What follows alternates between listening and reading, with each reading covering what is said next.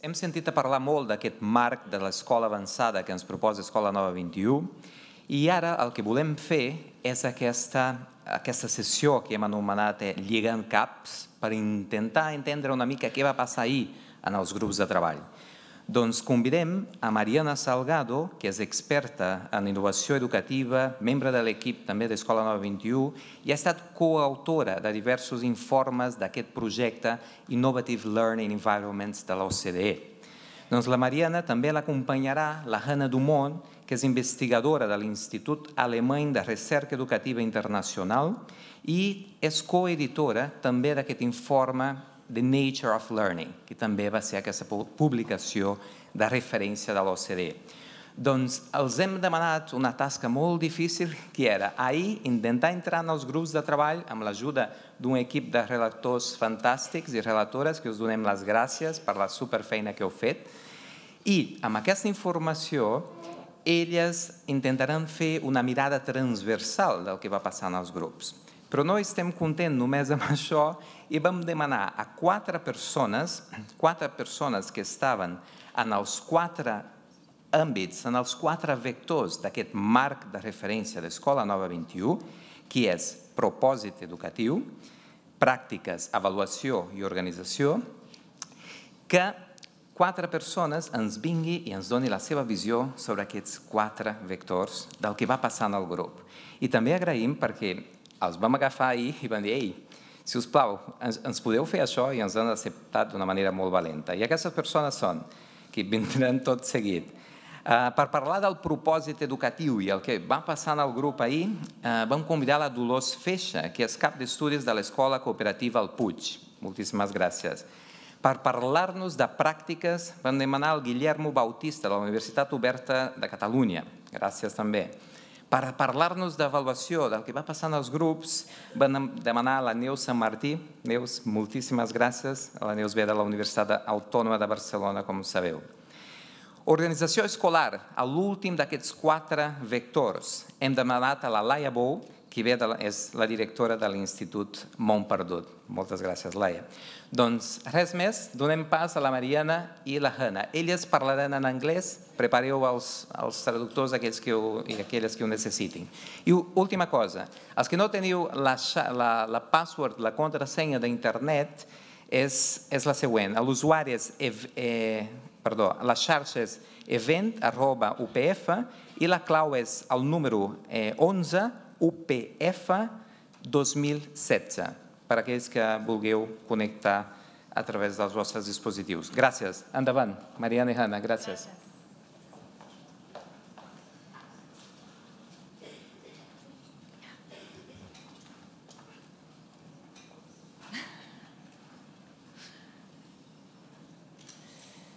Eh, buenos días.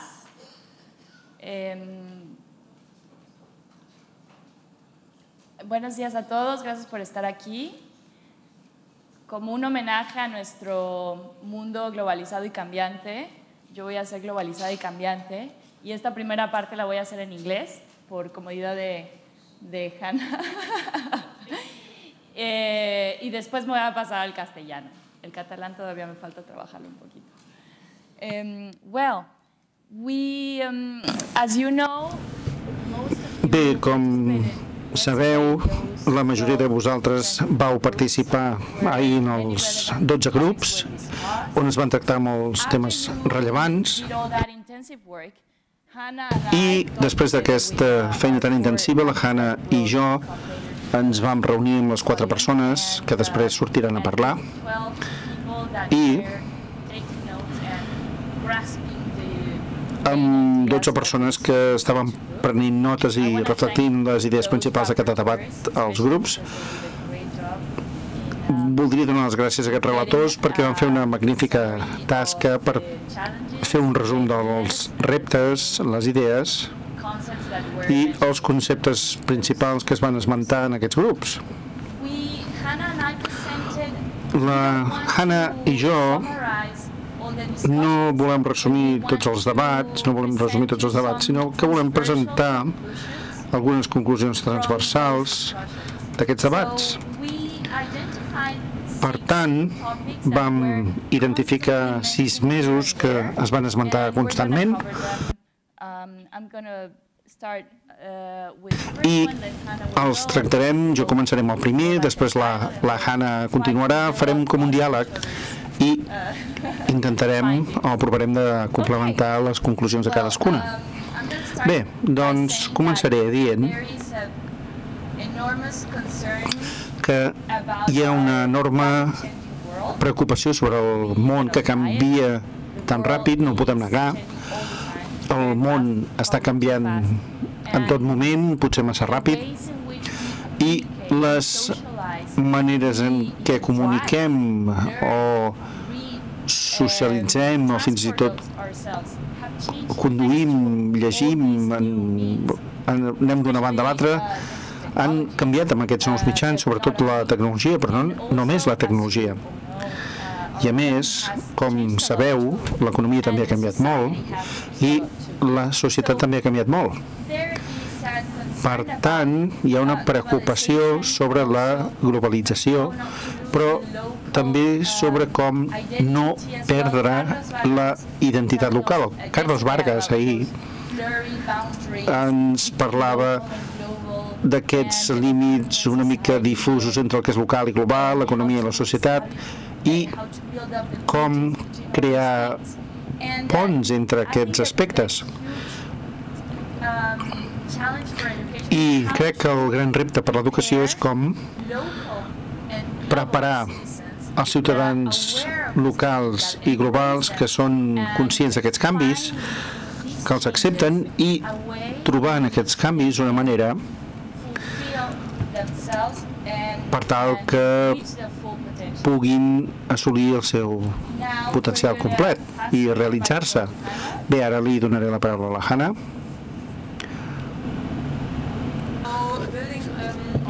Doncs, continuant amb això que deia la Mariana, una de les coses que va sorgir cadascun dels grups és el fet que hem de tenir en compte cada persona que aprèn. L'hem de considerar com una persona única no només centrar-nos en les competències de la persona que aprèn, sinó en moltes coses diferents. Per exemple, si parlem de les experiències que tenen les persones que aprenen a la vida diària, fora de l'escola, hem de portar o, o dur aquesta experiència a l'escola i tenir en compte, ser sensibles al que saben, el que aporten al procés d'aprenentatge. Això també vol dir que hem de tenir en compte el que han après a les famílies i el que han viscut amb germans, germanes, els pares i utilitzar-ho per crear les xarxes amb les famílies i incloure-ho al context o al procés d'aprenentatge. Com s'ha dit, no només centrar-nos en les competències, però les competències són importants per comprendre quins coneixements previs tenen, els conceptes que tenen i per utilitzar-los per integrar tots els conceptes que tenen per tal de crear nous conceptes. I una de les coses que va ser molt interessant en els grups és el fet que com a professors i escoles hem de fer atenció a les errades que cometen els estudiants perquè són una oportunitat per aprendre, són una oportunitat per fer que l'aprenentatge sigui més profund i entendre per què els estudiants tenen aquest tipus de problemes i aprofitar-ho. I finalment,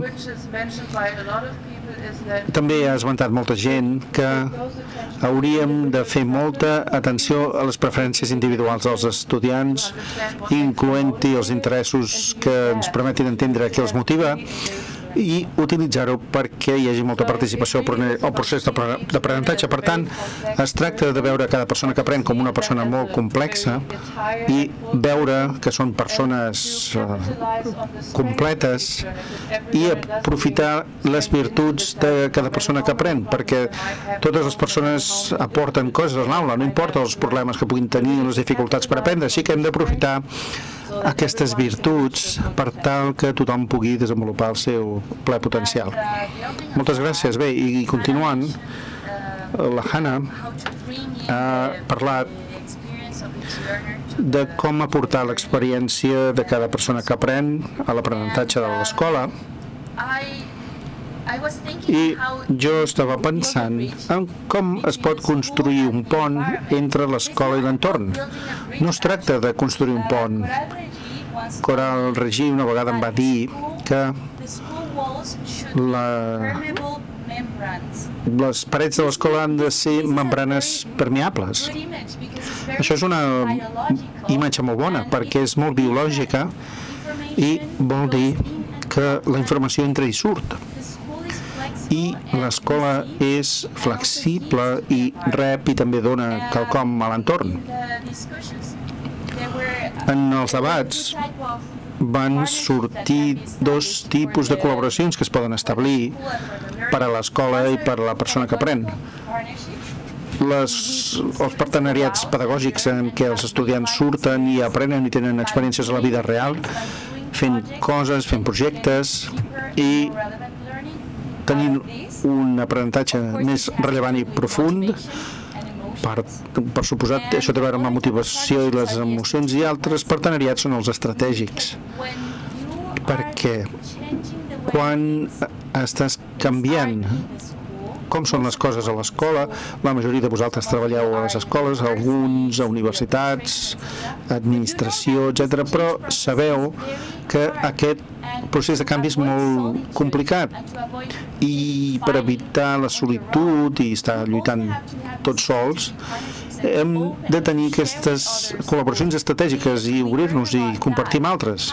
Hem sentit molt sobre això, com podem col·laborar amb altres escoles que estan fent el mateix i treballar junts a través de la via de la innovació.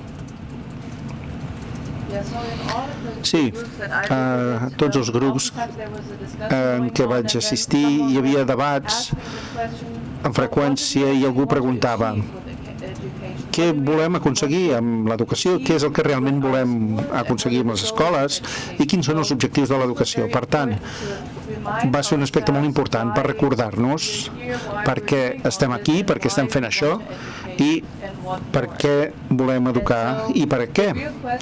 Per tant, la pregunta real que feia molta gent és què volem que aprenguin els estudiants? És pur coneixement? Són capacitats socials? Per tant, són moltes competències i habilitats que pots promoure a les escoles i a l'educació. I es va arribar a un acord general que no només és obtenir coneixement, sinó que és preparar els estudiants perquè siguin membres responsables de la societat i per tenir una visió més àmplia de quin és el seu paper a la societat. I es tracta de formar a una persona holística però també educar-los d'una manera holística perquè puguin eh, viure les seves vides. I això també té implicacions molt clares pel tipus d'avaluacions que necessitem. Això es va dir diverses vegades. I vol dir que les avaluacions haurien de reflectir aquesta naturalesa complexa i que, que siguin també complexes i tinguin en compte totes aquestes característiques, que siguin exhaustives. Doncs han de tenir en compte aquestes característiques que se suposa que han de desenvolupar els estudiants i tenir al final de l'escolarització. I aquestes avaluacions tan exhaustives són una manera d'avaluar els diferents objectius que tenen les escoles. Un altre tema que va sortir molt és Bé, amb, amb les avaluacions vols obtenir informació sobre l'aprenentatge per qüestionar constantment com es fan les coses i per fer-ho primer necessites un lideratge molt sòlid, una visió clara de cap on anem junts. I també és necessari que confis a la gent que hi ha a l'escola, a tots els nivells, per suposat, dintre de l'escola, a nivell d'administració, a les comunitats eh, d'aprenentatge i la xarxa i tot això, per suposat, requereix un lideratge molt sòlid i distribuït, però també una autoritat clara, un lideratge clar i una perspectiva molt clara o una visió molt clara. I una cosa que es va repetir moltes vegades i és important és la preocupació pel paper dels professors, els educadors. Molts de vosaltres sou professors i professores i sabeu que el repte de passar de l'escolarització tradicional a un currículum basat en competències o l'aprenentatge basat, en, projectes, tots aquests nous reptes, doncs eh, això és un, són, és, és un repte enorme, perquè de vegades el professorat no té la formació apropiada per afrontar aquests reptes. Per tant, hi ha molt per fer en la formació del professorat des de la universitat, en col·laboració amb la universitat, i no només formació per eh, ser professors, sinó l'aprenentatge durant tota la vida, l'aprenentatge continuat. Perquè no podem demanar al professorat que guiï l'aprenentatge de les persones que aprenen basant-se en competències si no les han de desenvolupat ells mateixos, si no saben com fer-ho. Per tant, la formació del professorat és un repte molt important que s'ha d'afrontar. I també un tema molt important que es va esmentar és el tema de l'equitat. Molta gent deia que quan proves d'implementar pràctiques d'ensenyament i aprenentatge innovadores hi ha un risc de desigualtat ens hem d'assegurar que quan implementem innovacions no eixamplem les diferències eh, del que aconsegueixen els alumnes. Quan personalitzes l'aprenentatge, el currículum, el pla d'estudis, i tens un currículum basat en competències i pots, pots tenir el risc de baixar massa els estàndards per a aquells que tenen problemes d'aprenentatge. Per tant, de vegades això vol dir que es perden certs estàndards. Algú deia que és important assegurar-se que totes les persones que aprenen surtin de l'escola amb una sèrie de competències bàsiques. És a dir, tenir un estàndard determinat que tothom ha d'assolir, un llindar que tothom ha de superar. I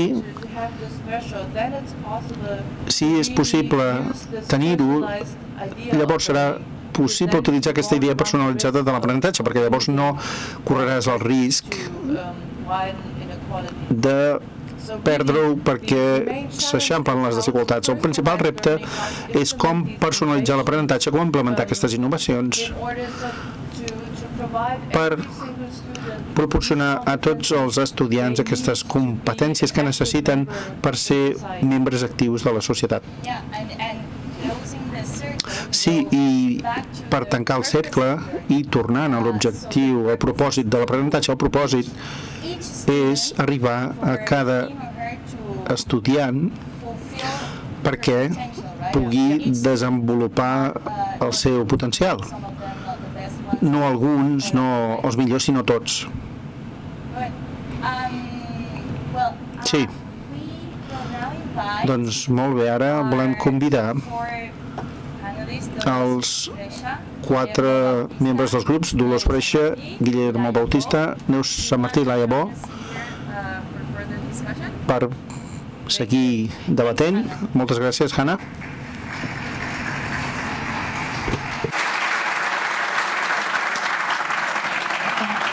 ¿Te quieres sentar aquí? Yo sí, me quedo sí. en orilla. Y así sí. A ver, sí.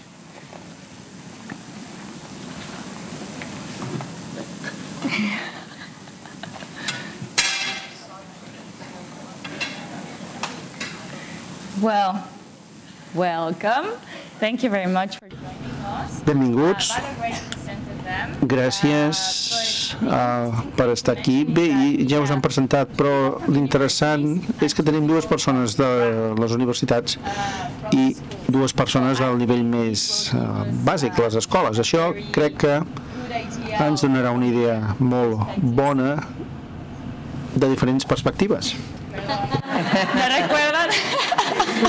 me recuerdan que quedé de cambiar globalizadamente al, castellano. Perdón. Bueno, solo una cosita para, para la dinámica de, del panel. Eh, yo moderaré en, castellano. Ustedes pueden hablar en catalán o en castellano como se sientan más cómodos. Después vamos a hacer una ronda de intervenciones cortas eh, en las que cada panelista se enfocará en, un ámbito eh, en particular. Y después abriremos el micrófono al público para que nos hagan comentarios, preguntas a los panelistas, a nosotros, a Hanna o a los que coordinaron los grupos también, si están por aquí. Eh, les agradeceré si las preguntas pudieran ser en castellano para que yo las entienda mejor, pero quien no se sienta cómodo en castellano las puede hacer en catalán, por supuesto. Y bueno, pues si les parece bien, empezamos la ronda de intervenciones. Eh, vamos a empezar por Dolos, con, eh, propósito. Bé. Uh, pensant així ràpidament, com han explicat d'ahir per avui, per parlar amb el propòsit, uh, jo no sabia començar sense buscar alguna cosa personal que m'identifiqués amb això i he, he triat un poema del Vicent Andrés Estallés que diu «Vindrà un dia que no podrem més i llavors ho podrem tot». Jo pensava que potser en l'educació hem hagut d'arribar en un punt crític per arribar a la conclusió de que sí, que ho podrem tot i que potser podem més del que ens imaginàvem. No?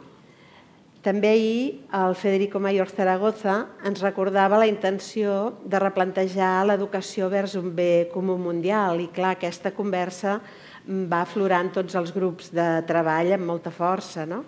Potser aquest seria el propòsit més gran de l'escola, el món canvia, hi havia qui deia que canvia molt més ara, hi havia qui deia que havia canviat sempre, i l'escola no se'n pot mantenir al marge, i el que li aporta el sentit, el fet educatiu, és aquest valor que té per la vida de les persones i el vincle necessari amb la realitat, perquè si no ja no seria per la vida.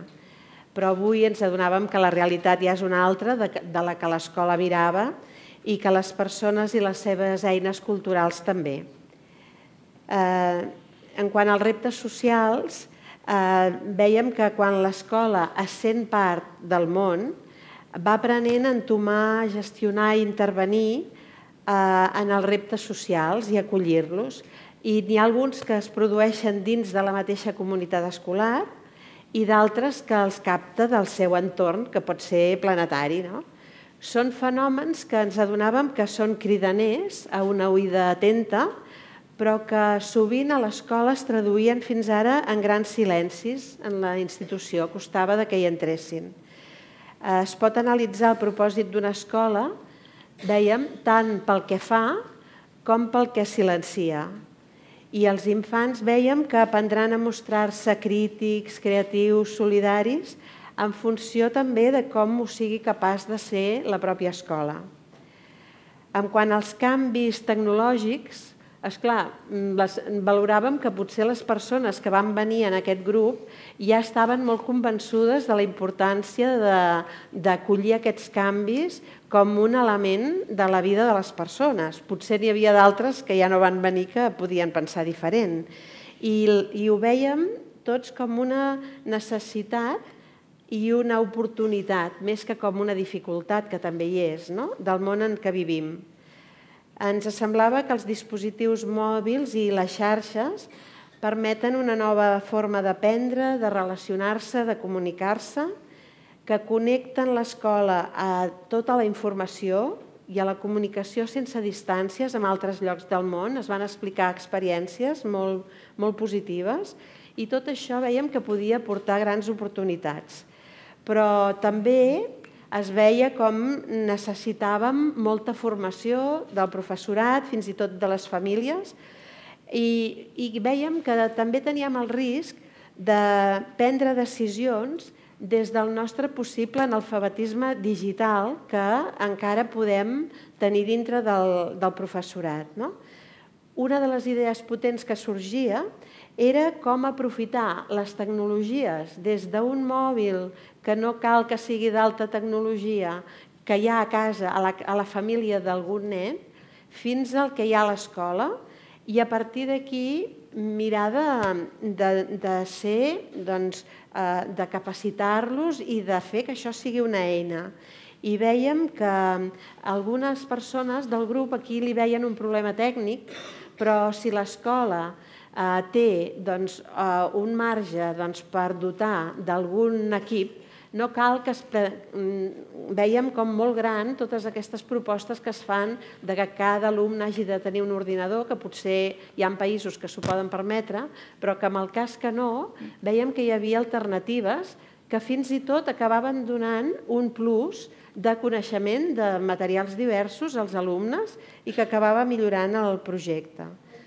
En quant al grup del currículum, Vèiem que es va parlar molt dels per què, abans ja s'ha dit, i que mm, els currículums havien d'estar basats en aquests perquès i en com sabem que les persones aprenen i mm, que havia de potenciar un coneixement integral de tots i de cada un dels alumnes amb la dificultat que sabem que això comporta i, per tant, que havia d'incloure itineraris personalitzats, que hem de trobar la manera, i sobretot que on els talents i les necessitats de cadascú hi tinguin cabuda i rellevància. Parlaven d'un terme eh, que és la nova ecologia de l'aprenentatge, on l'emoció es considera part essencial del procés i també del desig d'aprendre. I que veiem que aquesta emoció parteix dels interrogants genuïns, personals i socials de les criatures.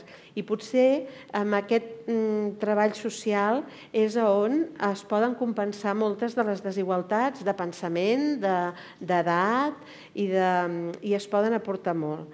I també veiem que per garantir l'equitat, que consideraria, tothom considerava molt necessària, ni els recursos ni les accions poden ser les mateixes per tothom i que aconseguir aquest equilibri no és gens fàcil, però és el repte que tenim i que s'ha de poder produir de forma autònoma, vèiem, a cada escola, eh, coneixent i prenent decisions cada claustre sobre la seva realitat. Per tant, potser en conclusió veiem que la recerca de la coherència i la creativitat i el compromís amb què s'afronta aquest propòsit de la coherència del propòsit de l'escola, mm, veiem que s'havia de fer entre tota la comunitat educativa, l'equip de mestres, per si podia participar les famílies també, i que no és un repte fàcil, però que, com deia el poeta, ho podrem tot.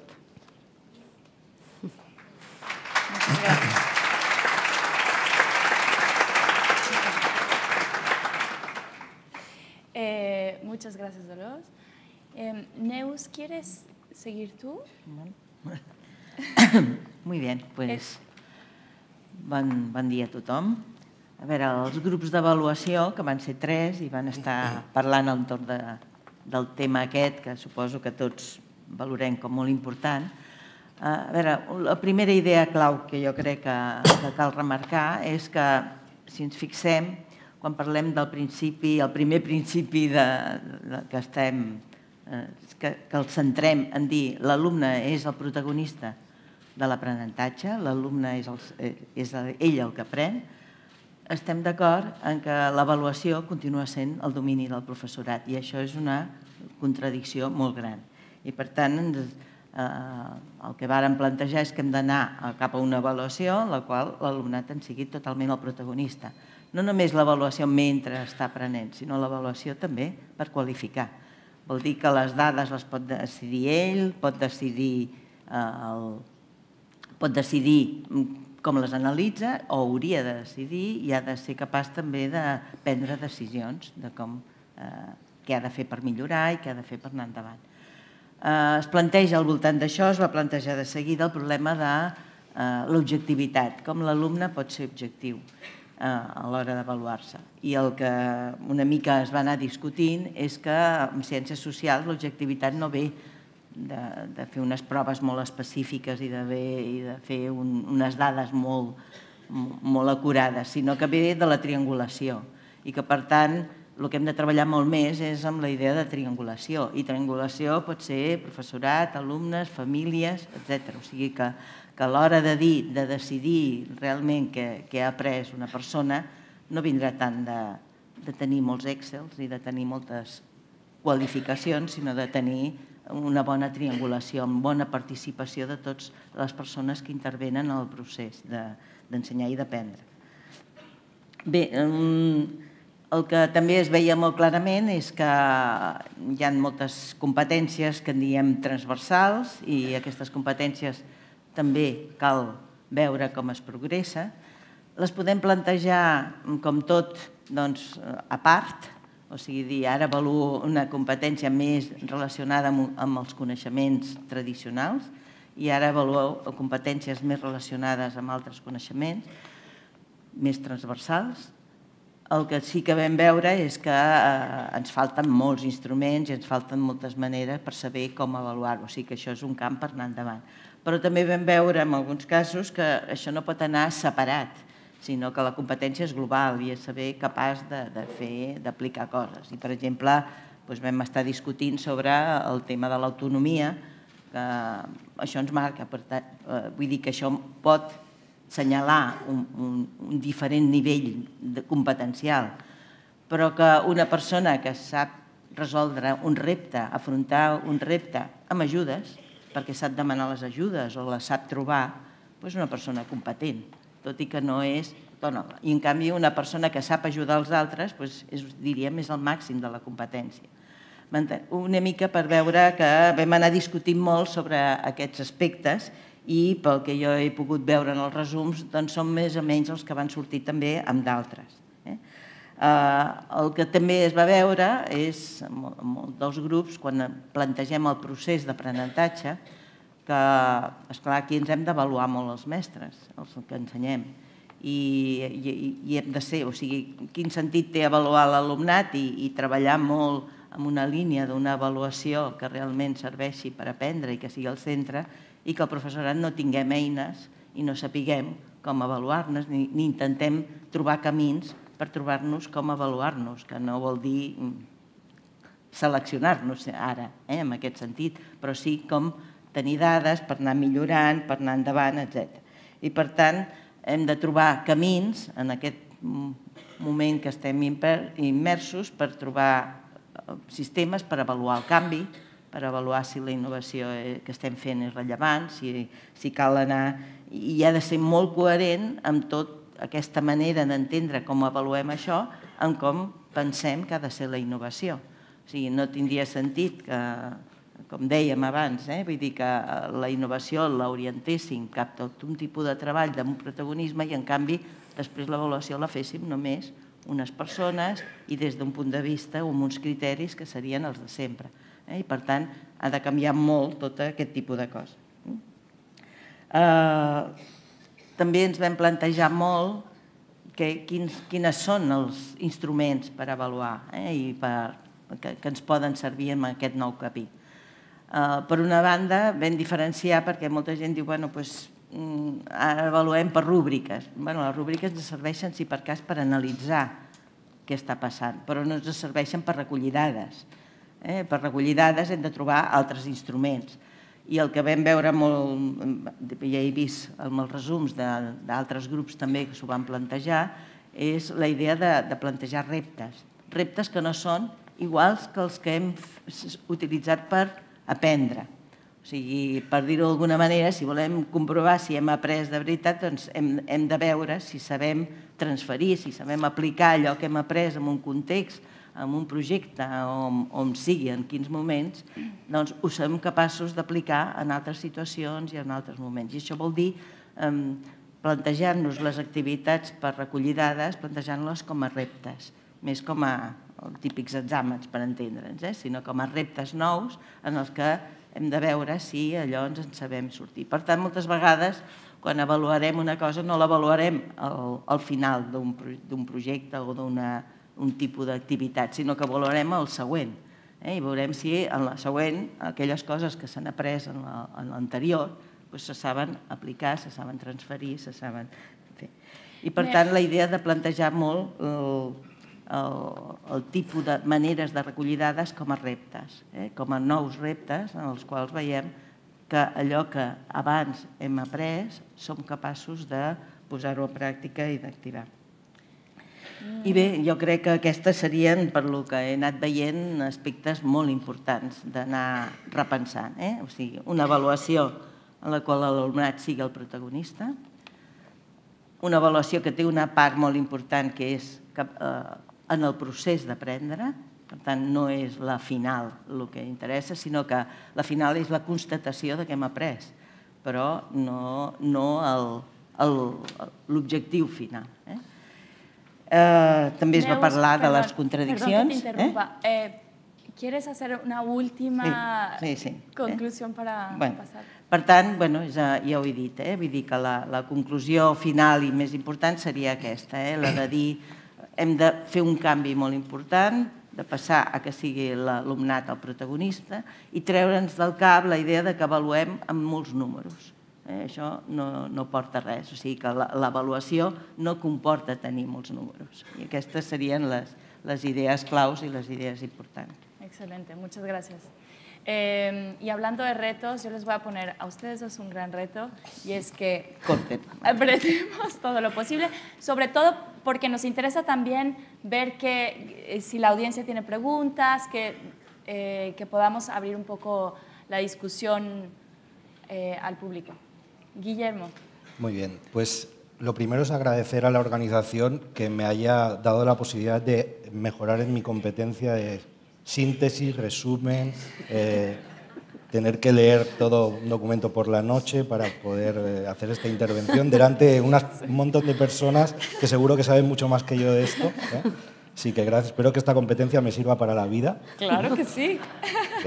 Bien, mi, intervención la voy a, centrar en dos dimensiones que creo que son transversales a los tres grupos sobre la práctica. Muchas de las cosas que eh, salieron en los grupos, por ejemplo, David ya las ha presentado como marco del proyecto. Eh, esas dos dimensiones son lo que está ocurriendo eh, en la práctica y lo que queremos que ocurra en la práctica, que supongo que es lo que nos, nos tiene hoy aquí. Hay una cosa que supongo que pensamos todos y es que aquí estamos muchas personas que realmente no representan a la práctica general de lo que ocurre en la escuela o lo que o lo que se ha dibujado en la presentación de antes. Esto ocurre muchas veces en los ámbitos educativos. Por ejemplo, cuando un AMPA eh, organiza una sesión de, formación para padres, suelen venir precisamente los que menos necesitan esa formación y los que no la necesitan, no, los que más la necesitan no, no vienen, o incluso también en la formación del profesorado. Bueno, ¿qué ocurre en la práctica? Y es difícil generalizar. Ya, ya se ha dicho, yo apunto algunas cosas. Eh, la práctica habitual o tradicional de, la escuela responde a una visión industrializada del proceso de aprendizaje en la que hay una persona que abre la tapa de la cabeza de unos cuantos que tiene enfrente y incluyen eh, unos contenidos, conocimientos. Habitualmente esos conocimientos eh, son los mismos para todos dentro de un marco organizado de una determinada manera, que es, pues, por ejemplo, con un espacio para aprender, eh, organizado en sillas, eh, en filas de sillas y mesas, en un horario que responde a una organización en la que de 8 a 9 se hacen matemáticas, de 9 a 10 lengua, de 10 a 11 educación física y a las 11 hay que salir al patio eh, aunque no se esté cansado o no se tenga ganas de salir. También ocurren estas cosas. La secuencia didáctica, la práctica, muchas veces responde también a la persona que explica, da la explicación y el entrenamiento posterior. Ese entrenamiento posterior a veces se convierte en tareas, en deberes, eh, que, eh, se representan de forma tan sorprendente como memorización de dictados, hojas de multiplicaciones y divisiones, por cierto, memorización de dictados cuando en la vida casi nunca nos dictan ¿eh? las cosas, pero seguimos haciendo en la práctica estas cosas. Eh, copia de ejercicios de libros de textos, incluso los enunciados. Y bueno, mm, evidentemente este análisis muy general, con concreciones, no se puede desvincular a las condiciones que engloba eh, el trabajo en un centro, que es las condiciones del alumnado, eh, las condiciones sociales, la eh, formación del profesorado, etc. Entonces, en los grupos de trabajo sobre la práctica se habló de lo que queremos que ocurra. Y lo que queremos que ocurra se fundamenta, entre otras cosas, en la práctica en el informe o los informes que ya se han presentado en el día de ayer de la OCDE y en muchos principios y teorías que ya existen desde hace decenas de años, eh, pero que mm, diría que no se han puesto demasiado en práctica en las escuelas. Y yo creo que es hora que, que empecemos a tomarnos en serio esos principios que muchos autores han promovido, han estudiado, que parten de la investigación en educación y que nos pueden dar luz para la mejora de, muchos procesos. Eh, en el grupo de trabajo de, conocimiento científico para el aprendizaje surgieron aspectos como la importancia de considerar eh, los conocimientos previos del alumno, mm, aspectos más concretos como considerar también la zona de desarrollo próximo como elemento importante para hacer un aprendizaje significativo y funcional, la motivación, aspectos de la emotividad relacionada con el proceso de aprendizaje y se concluyó que una de las eh, vías interesantes para que esas cosas ocurran son eh, la propuesta de aprendizaje basado en proyectos o metodologías que se pueden articular o que están incluidas dentro de, de esa propuesta didáctica, como por ejemplo el aprendizaje colaborativo, la globalización curricular, etc. En el grupo de personalización del aprendizaje eh, surgió la idea de cómo realmente eh, el, proceso está muy desconectado con los estudiantes y cómo estos en muy poco tiempo desconectan del proceso de aprendizaje. Y cómo es necesario también, respecto a lo que he dicho antes, vincular ese proceso con los intereses e incluso yendo un poquito más allá, dar la oportunidad a los estudiantes con eso tiene que ver la personalización, mm, sobre cómo aprender, qué aprender, cuándo aprender, con quién aprender. Y que esto no de forma radical, pero que lo tengamos presente a la hora de plantear eh, nuestros procesos de enseñanza. Y en el grupo de la formación competencial de los docentes, eh, una de las cosas que surgieron es la necesidad no solo de considerar la formación inicial, sino de los docentes que ya están en activo, por supuesto. Eh, hace falta un cambio importante en las estructuras de los programas de formación en las universidades y también un nuevo enfoque de la formación continua. Eh, un componente importante para la formación competencial es considerar toda la investigación que ya está hecha, eh, a nivel educativo. En realidad, eh, ya veis que todo se articula con todo cuando hablamos de, práctica. Eh, y por último, un espacio común muy importante que ya ha surgido aquí de conexión entre lo que pasa en las escuelas y lo que ocurre en la universidad. Y que ese gap que existe ahora podamos empezar a, a anularlo con puentes que la escuela, Creo que ayer en el grupo de, formación competencial surgió el que muchas veces la universidad llama mucho más a la puerta de las escuelas que al contrario, por algo será, supongo, y que muchas veces la incursión de la universidad en la escuela ha sido solamente para obtener cosas y no para revertir ese conocimiento, esa investigación en la escuela, y eso eh, hay que cambiarlo. Por lo tanto, como conclusión, eh, hace falta investigar aquellas prácticas que nos parecen avanzadas realmente para demostrar a las personas que no están convencidas que eso funciona. También tenemos que convencernos de que los resultados de esas investigaciones no siempre van a dar toda la luz, porque debemos tener presentes desde una visión competencial que la investigación no va a poder medir las consecuencias eh, totales de un proceso de aprendizaje, porque si estamos formando para la vida, no podemos medir inmediatamente eh, esos planteamientos didácticos concretos. Podría ser que lo pudiéramos medir de aquí 20 años, 30 años. ¿eh? Estamos formando para la vida. Y sí que es importante considerar algo que sí que se puede medir en el momento, y es la satisfacción de las personas implicadas en los procesos de aprendizaje.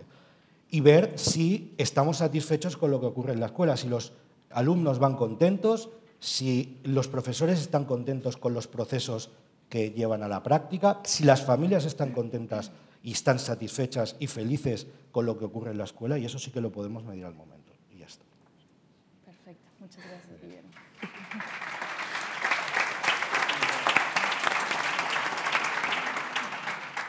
Laia, ¿quieres darnos tus brevíssimes conclusiones? Per supuesto, brevíssimos. Uh, molt bon dia a tothom. Uh, L'organització del, de, del simposi m'ha encarregat que us faci una breu síntesi dels aspectes més rellevants que es van estar debatent en el bloc d'organització de centre, entenent l'organització de centre com aquells centres que tenen un clar propòsit competencial i que volen donar a l'alumnat experiències realment empoderadores. El que he pogut observar dels quatre grups de treball és que hi ha tres centres d'interès que es van removent en aquests quatre, en aquests quatre blocs, que, com uns leitmotivs que es van repetint i que són els que jo he triat per fer la presentació. Un d'ells és el marge d'autonomia de centres, el segon és l'avaluació i el tercer és la funció del rol docent. En relació al marge d'autonomia, tots sabem que en el desplegament de la llei de la llei d'educació, en el seu decret d'autonomia, es dota als centres d'una àmplia possibilitat i de marge en relació de, en, gestió, en organització i en lideratge pedagògic. Però no tots els centres de Catalunya exerceixen l'autonomia amb una mateixa intensitat. Hi ha centres que l'exerceixen en un ampli espectre i n'hi ha que no tant. Aleshores, què passa amb les escoles que estan aplicant l'autonomia fins a l'últim punt que ens permet? doncs que són centres que actualment formen part d'Escola Nova, que han desenvolupat eh, projectes educatius singulars i altament personalitzats. Aleshores, aquí entraven en una polèmica en un d'aquests grups de debat i és que si realment eh, aquest, aquests projectes educatius diferenciats si ens poden portar a una competitivitat entre centres i que aquesta competició pugui agreujar les, les diferències, les desigualtats dels alumnes que estan educant-se en, aquells, en aquells centres. És a dir, que no tenen les mateixes oportunitats els alumnes que estan en un centre o que estan en un altre. I eh, està clar que el marge d'autonomia hi és, el marge d'autonomia hi és perquè el podem fer servir perquè la llei ens ho permet, però per què passa amb aquests centres que no fan aquest ús de l'autonomia? Això és el que ens hem de plantejar. Mm, quines dificultats tenen per fer-ho? Quins condicionants hi ha?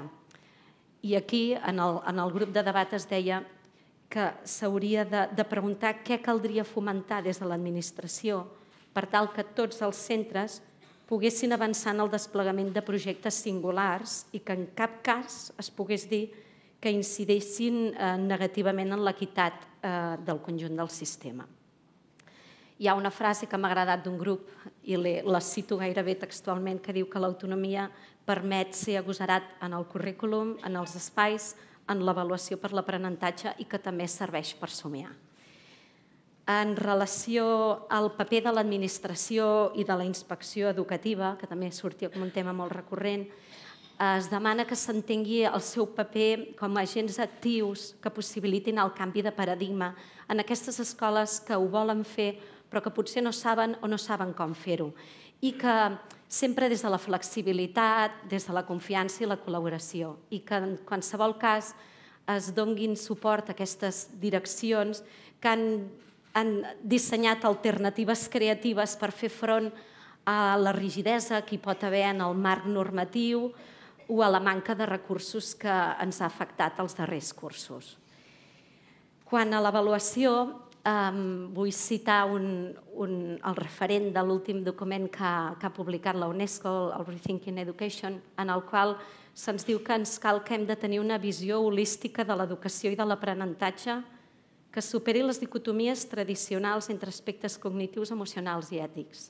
Doncs bé, en un dels grups es demanava que realment hi hagués un sistema eficaç de retiment de comptes que anés molt més enllà d'un retiment de comptes dels aspectes cognitius, d'aquells que són fàcilment mesurables i que s'abordés el repte d'intentar mesurar tota aquella feina de l'educació socioemocional que s'està duent en els centres de Catalunya i que no podem obviar eh, el treball doncs, de, la, de la confiança, de la resiliència, de l'empatia o, o de l'autonomia.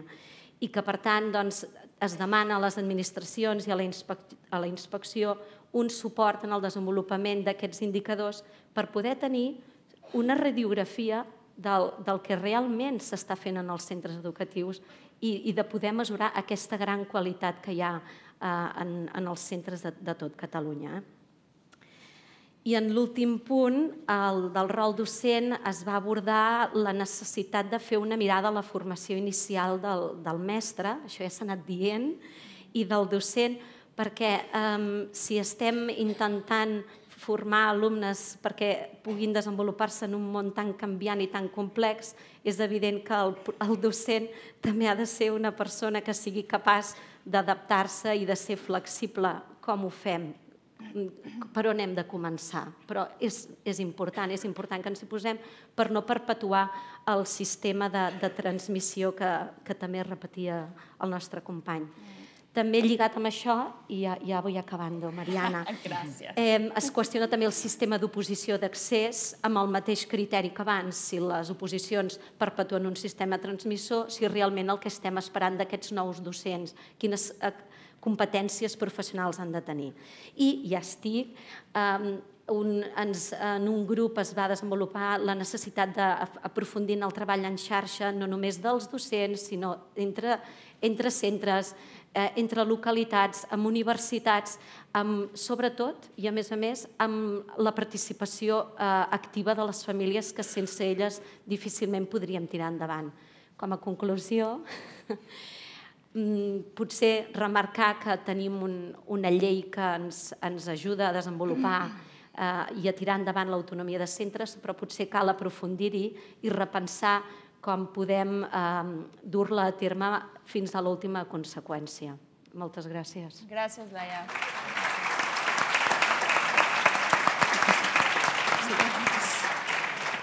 Bueno, es muy difícil llevar el tiempo porque en lugar de cortarlos, a mí me gustaría tomarme un café con cada uno y seguir la discusión. Pero bueno, no tenemos eh, todo el tiempo del mundo. Muchísimas gracias. Solo quiero eh, captar unas cositas que me llamaron la atención de, de, de, la síntesis que hicieron cada uno de ustedes. Oigo, oportunidad, cambio como, como una oportunidad. Dejemos de, alguien decía ayer, dejemos de llorar y pongámonos a cambiar, ¿no? Eso, la oportunidad. Luego, eh, establecer conexiones. ¿Cómo establecemos conexiones? ¿Cómo nos ayudamos en este itinerario de cambio? Y, y, y Laia, tú lo mencionaste, colaboración. No hay otra forma de hacer este cambio que colaboración. Y es una de las intenciones de este programa de Escuela Nueva 21, colaborar, formar redes, formar una comunidad de aprendizaje en la que todos estemos yendo hacia el mismo rumbo y que de esto pueda surgir un movimiento que no tenga marcha atrás. ¿no?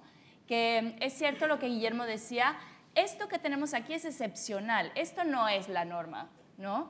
Pero qué bueno, porque existe y aquí estamos y estamos todos caminando hacia un mismo camino y este movimiento va a generar un cambio sistemático y sistémico que no tendrá marcha atrás. Y creo que me parece que eso es valiosísimo. Bueno, eh, tenemos em, cinco minutos para preguntas. Diez minutos para preguntas, buenísimo. Tenemos diez minutos para preguntas.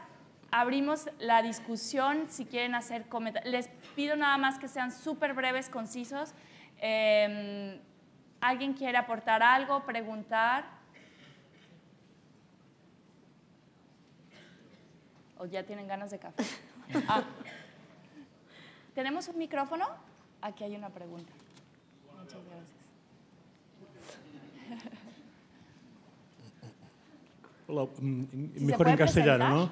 Sí, me llamo Francesc Colomé eh, y quisiera hacer una, una, intervención en el sentido de eh, insistir en un aspecto que Laia lo ha tocado un poquito, pero que creo que es fundamental en donde estamos nosotros, que es la gran dificultad que tienen nuestros centros públicos, me refiero esencialmente a centros públicos, de consolidar equipos por el sistema de provisión de profesorado que tenemos.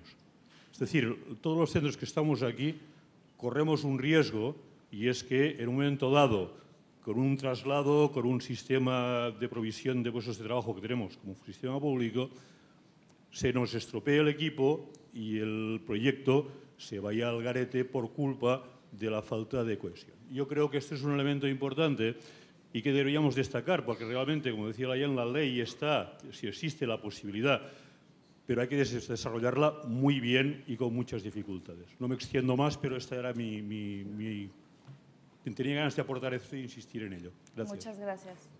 ¿Alguien de ustedes, Guillem, quieres tomar el, agregar algo?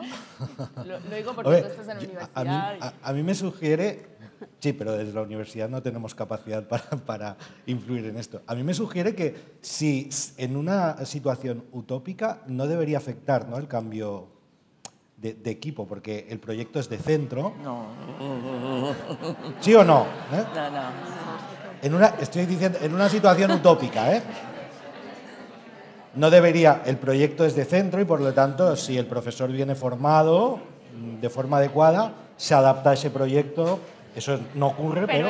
Pero es, verdad que hay un reto ahí, ¿no? Hay un reto eh, organizativo y administrativo que, afrontar, ¿no? Eh, me, permites, ya que, ya que me, me siento... Aprovecho para poner una cuña publicitaria. Eh, en la ley y en la normativa está previsto que eh, toda persona que se incorpora a un centro, a un claustro, está obligado a seguir el proyecto de, centro y el proyecto de dirección que se ha aprobado. Y esto es importante que se sepa porque es verdad. O sea, en la utopía esto podría ser verdad. Toda persona nueva que llega puede, o debe, perdón, mm, apuntarse, debe trabajar en el sentido que se ha aprobado. Y esto no se sabe o no se ejercita muy a menudo volvemos a la intención de, establecer conexiones que sean claras ¿no? entre, entre las partes. Bueno, vamos a recoger eh, unas dos o tres preguntas más y, abrimos la discusión. Sí, por favor. Eh, Carme Manyà, de la Inspecció d'Educació. Eh, era contrastar amb la Neus Sant Martí, a veure si estaria d'acord amb mi sobre el tema d'avaluació, que jo crec que un dels problemes que tenim en el sistema, eh, com que el sistema educatiu i tothom hi posa cullerada i cada govern i cada partit polític, aquestes coses han passat per tot, tot, tots els números ja i han posat eh, coses eh, per avaluar, però la meva part d'això és eh, un dels problemes que tenim amb el tema de l'avaluació és que en confonem avaluar amb posar una nota. D'acord? Jo quan faig formació d'avaluació, bueno, ara ja no, quan em feia, en centre o a l'ICE o quan en feia, deia el nostre sistema educatiu és una mica esquizofrènic, perquè per una banda parlem d'avaluar com a recollida d'informació eh, per prendre decisions de millora, per veure què hem après, què no hem après, avaluar per aprendre, aprendre l'alumne, aprendre el centre, aprendre l'equip docent, però després als alumnes els hi hem de posar una nota. D'acord? Bé, és un sistema així d'esquizofrènic, no? que haguéssim de reduir tota l'avaluació de competències, a més a més, amb una nota. Però hi ha maneres, hi ha maneres. Han passat per lo del número 5, 6, 7, 4 i mig, 375. Han passat per l'aprovat notable excel·lent o bé. Han passat pel progrés adequadament o necessita mejorar. I anem ara per l'assoliment notable, excel·lent o suficient. Jo crec que si som capaços una mica, mm, si és que es poden canviar altres lleis, perquè a més no depenen només d'aquí aquest, aquest sistema, eh, hi ha la manera de lligar-ho, no? i una d'elles poden ser les rúbriques o les bases d'orientació, el que tu deies, avaluarem el que s'ha pres en un projecte quan el tornéssim a fer i aquell alumne sigui capaç d'aplicar els seus coneixements. Això, per una banda, no sé si estaries d'acord. I després, respecte als números, que es parla molt i les estadístiques, mm, sí, no només els números i les estadístiques, també els indicadors també s'han de tenir, però un bon anàlisi i, una bona, i un bon ús de totes aquestes estadístiques també poden ajudar a avançar. Era només plantejar si estaries d'acord. Gràcies. ¿Alguien más tiene una pregunta?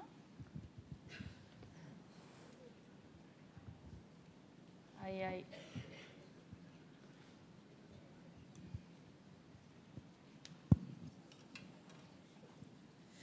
Uh, bon dia.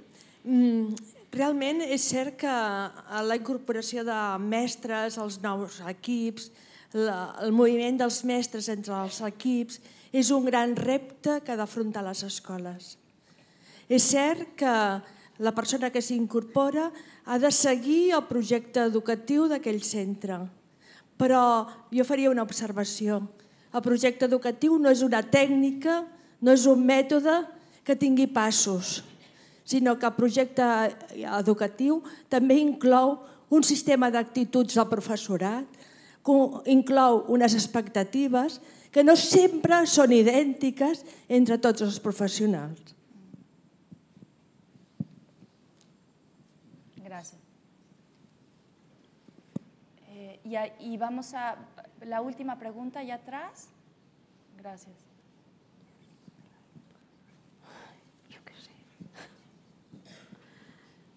Sí. La meva pregunta va en la línia d'intentar posar-nos en marxa. No?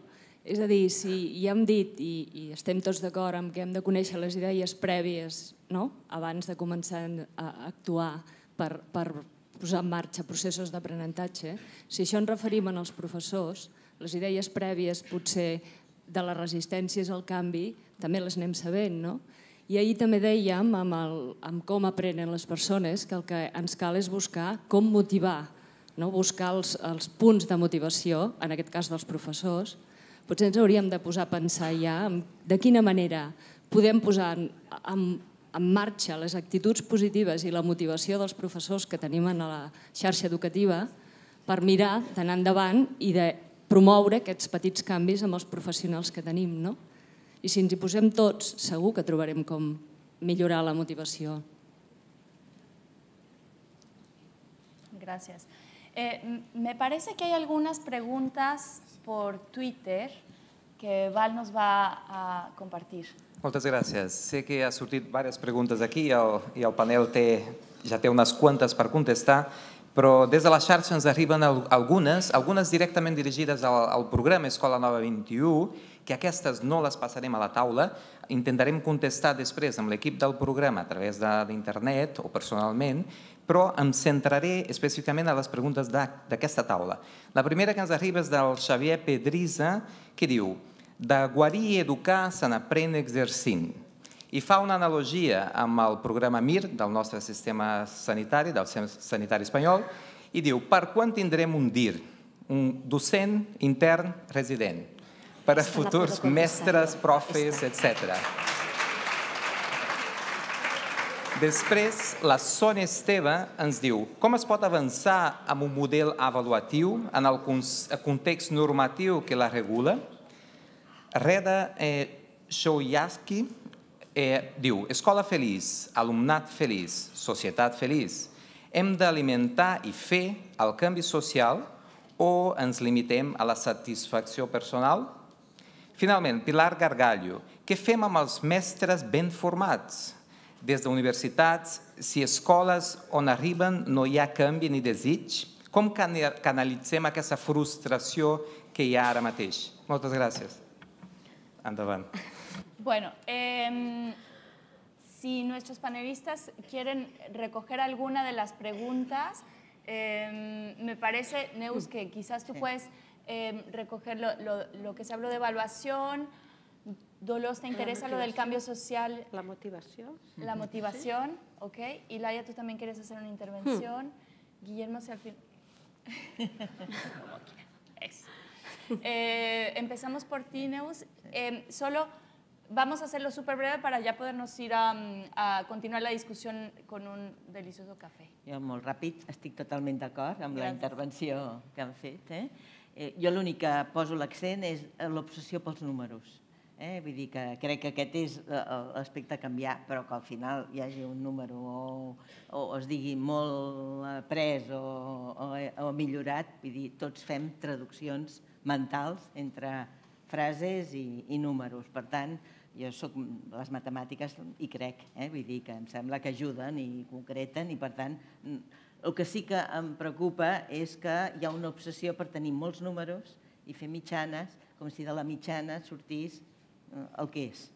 I jo crec que en ciències socials el que és surt de, de discutir-ho i llavors li posem un número, però és molt diferent. No sé si, si ho veiem aquest, crec, eh? penso que... I per tant, estic molt d'acord encara, quan tothom encara està començant i sempre està fent números, jo veig aquest any, jo dic, però si només heu de posar un número al final de curs, entens? Ara parlem d'altres coses quan estem avaluant. M'enteneu? No parlem de números ara, parlem d'altres coses, què està passant, per què està passant, què haig de fer per canviar, i al final del curs doncs, sí que traduirem tot el progrés que hagin pogut fer doncs, amb, amb un número, o amb una paraula o amb una frase, més igual que això. No sé si estaríem d'acord. Eh? Sí, muchas gracias. Eh, Dolors, ¿quieres intervenir? Sí, per una banda, no sé si he entès bé la pregunta, però aquesta persona que es referia a l'escola feliç sí.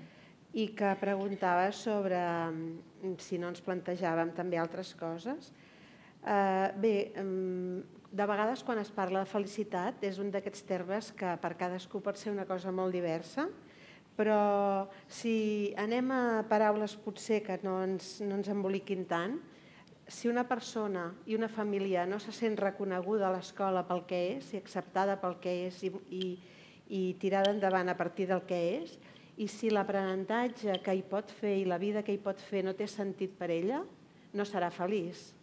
Però pensem que això sí que és una responsabilitat de l'escola, fer que les persones, tant les famílies com els infants com els professionals, puguem sentir-nos reconeguts i puguem treballar amb sentit.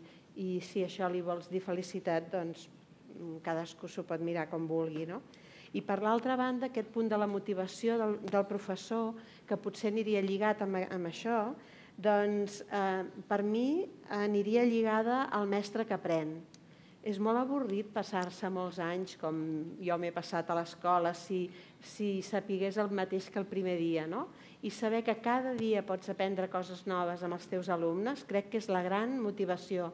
I també vol dir creure en la teva professió, perquè si no, què estàs fent allà, no? Mm, estàs fent només aplicant el mateix que diem que no han de fer els nens, ho estaries fent tu. I això porta un compromís que sempre va unit. Aquest mestre compromès en aquest projecte és un mestre que aprèn i és un mestre motivat per, no m'agrada aquesta paraula, però pel projecte. Excelente, sí. Gracias. Y Laia, ¿terminamos sí. contigo? Sí, ha habido una pregunta que han formulado vía Twitter sí. en relación al, al DIR, no? el um, docent interí resident, nosaltres en continuem dient MIR perquè som un centre afortunat, nosaltres tenim un MIR al centre. Tenim dos mestres interins residents que estan en un, en un pilotatge en col·laboració amb entitats i és el segon any que els tenim al centre i dono fe que l'experiència és extraordinària i altament positiva. Um, aleshores, hem també tenim l'altre format d'alumnes que venen a fer el pràcticum al centre. No? Aquest any en tenim nou. I venen 15 dies a fer una observació, els veus allà apuntant, desesperats, i van veient coses. Després també et venen unes setmanes a fer una intervenció que realment són absolutament eh, insuficients. En, en vuit setmanes podem capacitar un profe per entrar en una aula? En vuit setmanes capacitaríem un cirurgià que ens ha d'operar de la vesícula? No, està clar que no. Doncs per què no eh, comparem, ens mirallem una mica en el sistema sanitari i anem a perfeccionar aquesta pràctica docent quan el material que tenim a l'aula és tan o més sensible que el que hi pot haver en una taula de, de quiròfans. No? És a dir, jo crec que hem d'anar cap aquí. A dir, anem a professionalitzar l'accés a, la, a la professió docent el més aviat, el més aviat possible. Sí. Guillermo, una... Solo un apunte más sobre el tema este de la formación, que realmente tenemos que ser conscientes, yo estoy totalmente de acuerdo en, un modelo así, pero también que no solo con un... Yo, yo estaría un poco en contra de dejar solo lo de a enseñar se aprende enseñando, porque la prueba está en que muchas personas han pasado muchos años enseñando y quizás no saben del todo. Por lo tanto, hay, hay, un aspecto importante que salió ayer en el grupo que es el tema de la voluntad también. ¿no? Si pedimos también motivación en los estudiantes, pues la motivación del profesorado en todos los niveles tiene que estar también, la voluntad. Sí, fundamental. Perfecto. Bueno, eh, muchísimas gracias a ustedes cuatro, a Hanna, a los relatores y gracias a ustedes.